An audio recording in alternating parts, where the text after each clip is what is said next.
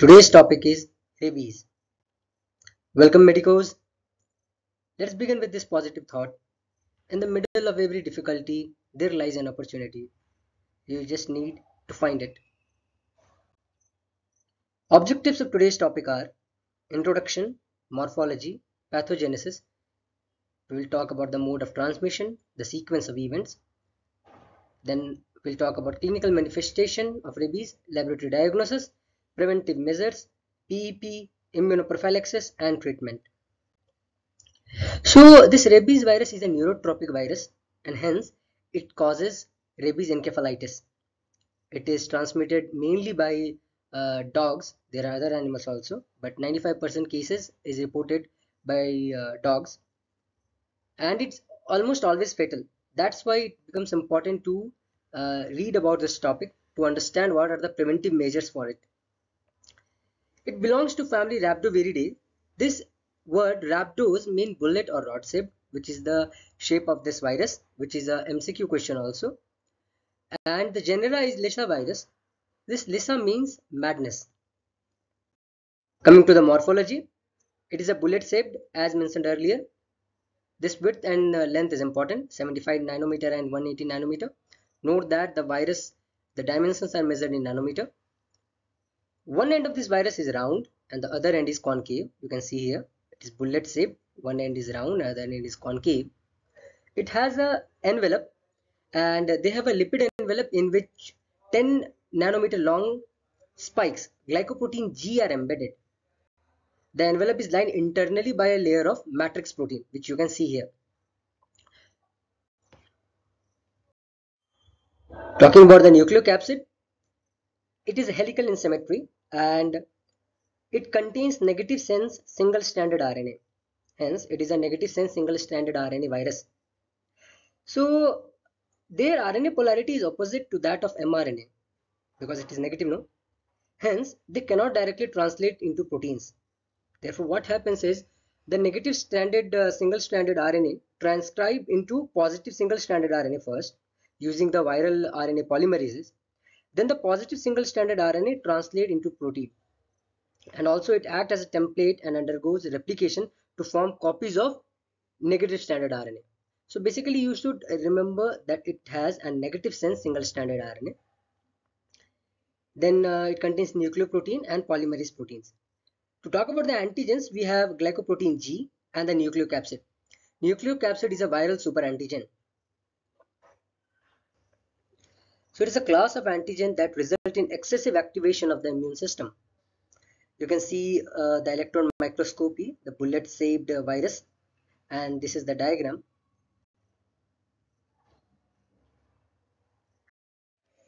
Rabies virus undergoes certain changes when it is serially propagated in animals.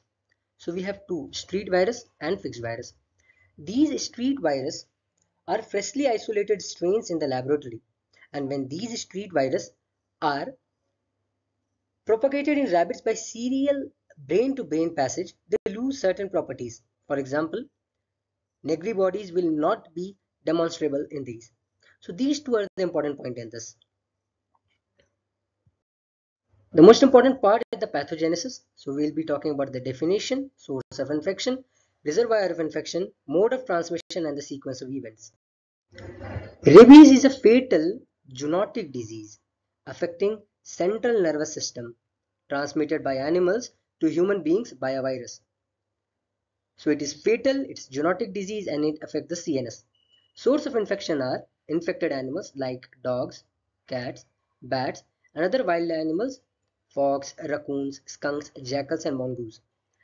We have reservoir of infection of uh, rabies, jackals, fox and hyena. They are just the reservoir, they contain the virus but they are not showing any symptoms of rabies. So if a jackal enters a village, bites a dog or injured the dog, then the dog will get affected by rabies and after that it will become the source to transmit rabies. Mode of transmission can be bite or non-bite transmission from the infected animal.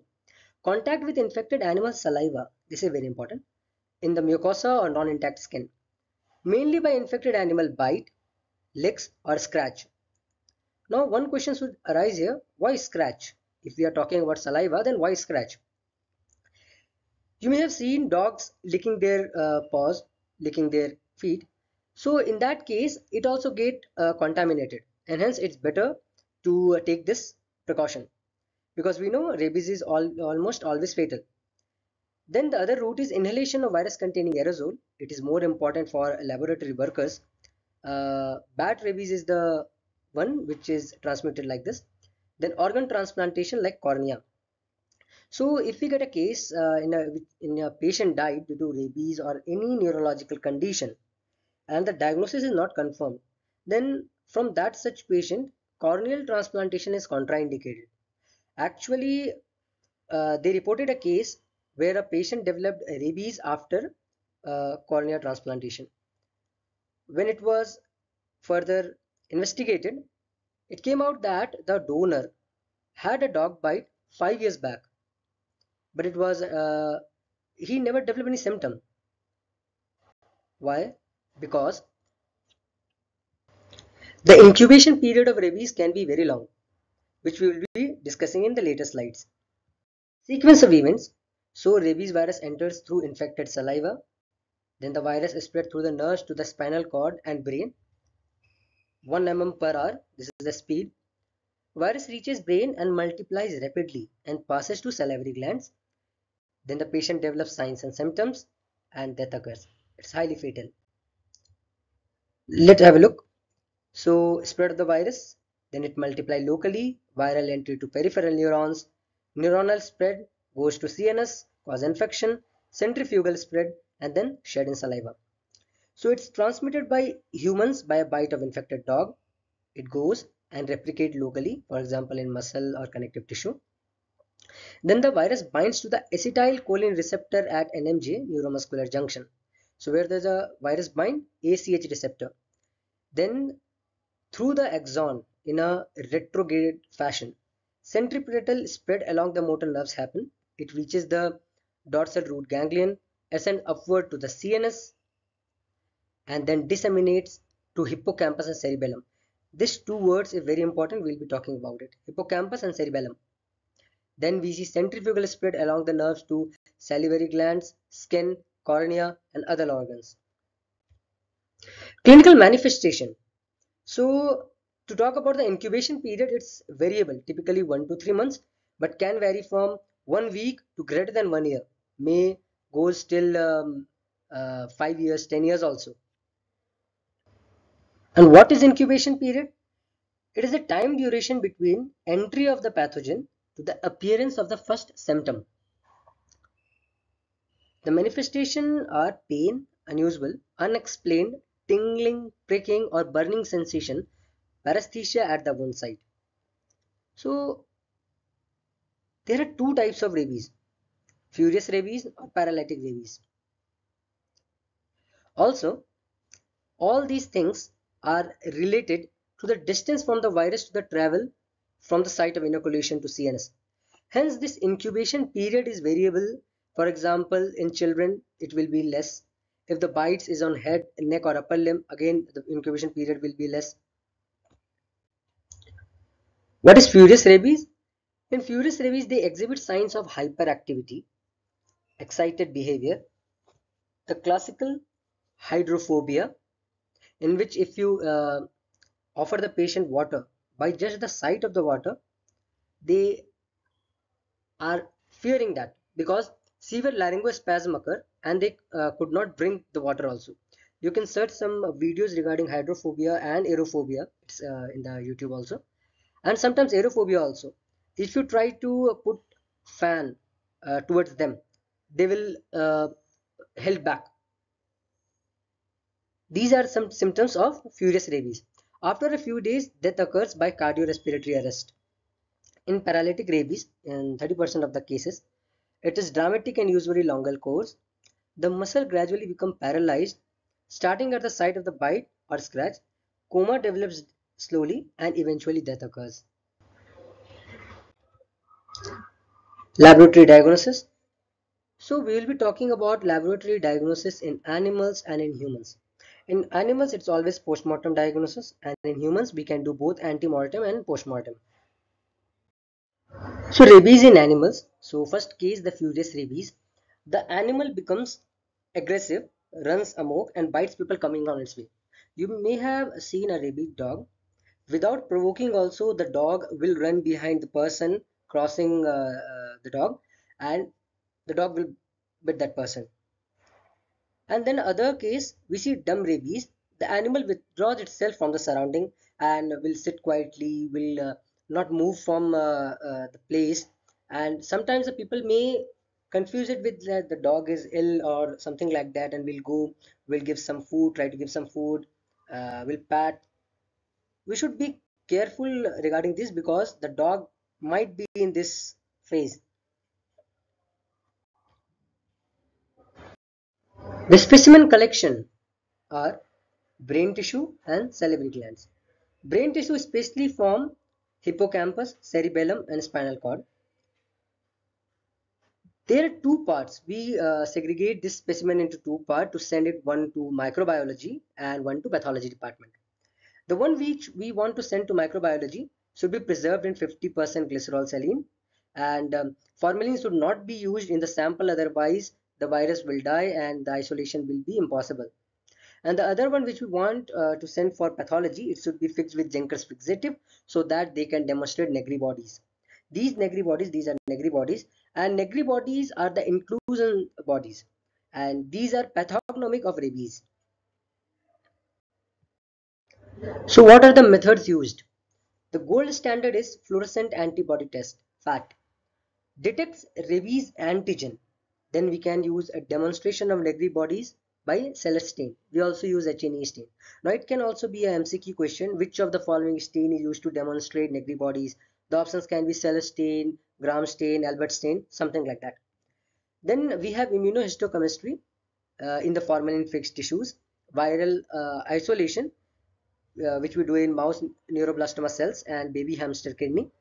So these are the cell lines.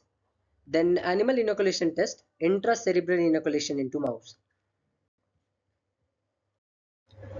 To talk about the diagnosis in humans, uh, I will mention that for the postmortem diagnosis, it's same as that of animals, so we will not repeat that again. Here we will be talking about antemortem diagnosis. The specimen collected are saliva, CSF sample, skin biopsies of hair follicles at the nape of the neck, that is the back of the neck, corneal impression smear and serum. So in saliva, virus isolation and RT-PCR is done. Serum and CSF sample is used to detect the antibodies to rabies virus and skin biopsy specimen or the corneal impression smear are examined for rabies antigen. Also there is something called direct immunofluorescent test, direct IF or uh, direct fluorescent antibody DFA it can also be performed to detect the rabies nucleoprotein antigen. So what we want to do that uh, we want to detect the rabies nucleoprotein antigen. So how do we do that? We do that by using specific monoclonal antibodies tagged with fluorescent dye. And because of its high sensitivity and specificity, this DFA, direct fluorescent antibody, is also considered as the gold standard method for rabies diagnosis. Preventive measures. First, we will be talking about the pre-exposure prophylaxis. This is recommended in two conditions. Either the individuals are at high occupational risk, for example, the vets, healthcare workers, laboratory workers, or forest explorers, or the subpopulation in a remote endemic areas in which uh, they have limited access to uh, post-exposure prophylaxis. And if annual dog bite incidence is greater than 5% or vampire bite exposures prevail there. In these two conditions, we will be giving these pre-exposure profile prophylaxis. So for pre-exposure profile prophylaxis, we have two schedules which can be given to individuals of all ages. First is two-site intradermal vaccine given on day 0 and 7 and one-site intramuscular vaccine given on day 0 and 7. This is uh, likely to provide lifetime protection, hence booster is not needed periodically unless indicated otherwise. Now coming to the most important aspect, the post-exposure prophylaxis, we have three important things. First, the local treatment, then hyperimmune serum or rabies immunoglobulin, RIG, and vaccines. In local treatment, the wound should be thoroughly washed with soap and water immediately. No matter what is the severity, what is the grade of the wound, it should be washed with soap and water immediately because we have read earlier that these rabies virus are enveloped virus and it can be killed easily with soap, be it any soap, even washing soap also. After washing, it should be treated with quaternary ammonium compound or tincture iodine or alcohol. Then antibiotics and uh, TT should be given. Rabies immunoglobulin. This anti-rabies immunoglobulin, we have two variety, human anti-rabies immunoglobulin and horse anti-rabies immunoglobulin. Now in this horse anti-rabies immunoglobulin, there are high risk of hypersensitivity. Hence, we choose this. But in case this is only available, then we will use this only because we know rabies is a fatal condition. Dose 20 international unit per kg body weight given to high risk groups. Half dose is given in the wound locally and other half is administered intramuscularly. As mentioned, human antisera is safe and preferred. Horse antisera may have the risk of hypersensitivity. Immunoprophylaxis. Types of vaccine. So uh, earlier there were like it was divided uh, neural vaccines and non-neural vaccines. Now we do not use these neural vaccines because it has many neurological uh, adverse effect. That's why now this cell line derived non-neural vaccines are recommended. We have three purified chick embryo cell vaccine in which uh, these are the cell line purified Vero cell PVC vaccine and human diploid cell vaccine. This is the most preferred one. So this is the risk categorization and recommended anti-rabies prophylaxis WHO 2018. They have divided it into three category, category 1, 2 and 3. Category 1, it has like uh, touching or feeding of animal, licks on intact skin, no treatment is needed if history is reliable. Category 2, minor scratches or abrasion without bleeding or nibbling of the uncovered skin. Wound management should be there, rabies vaccine will be needed and we should observe the dog for 10 days. If the dog is healthy 10 days then we will uh, stop the PEP. Category 3 single or multiple transdermal bites with oozing of blood, licks on broken skin, fresh wound or mucous membrane, direct contact with bats or wild animals. Then wound management, rabies immunoglobulin rig, rabies vaccine and then observe the dog for 10 days. See, vaccine may be discontinued if animal is healthy after 10 days of bite. Okay. Post-exposure prophylaxis, the schedule is on the day 0, day 3, day 7, day 14 and day 30 with booster dose on day 90. These are the compulsory to take. These are compulsory to take.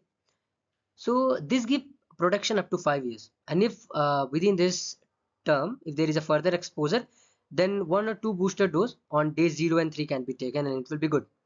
But after 5 years if again there is exposure then full 5 dose should be taken.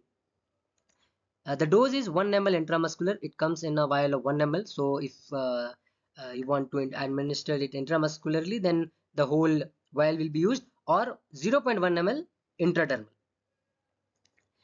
it is important that these rabies vaccine should never be given in the gluteal region. Never be given in the gluteal region. Even if the patient insists that uh, it should be given in the gluteal region as it will cause less pain it should not be. Because due to the presence of high fat in the gluteal region the absorption becomes slow and the patient might land up having uh, rabies uh, in spite of giving them this PEP and that might lead to a medical legal case also. And then as we talked we should observe the animal for 10 days. If the animal is healthy then we'll discontinue the PEP so what is the take home message? These five days are the important. And after five years full uh, dose 1 ml intramuscular 0.1 ml intradermal never to be given on the gluteal region. Coming to the treatment there is no specific treatment. So prevention is better than cure. Supporting treatment is there like intensive care management of complications and uh, uh, IFN may be used. Prevention and control. Measures to protect people from rabid dogs should be taken by the municipality. Vaccination of the animals. Registration and licensing of all domestic measures. And controlling measures on wildlife. We'll get back to you soon. Thank you. Hope it was fruitful and uh, we'll end it with a positive uh, thought. Every moment is an opportunity. We just need to realize that. Thank you.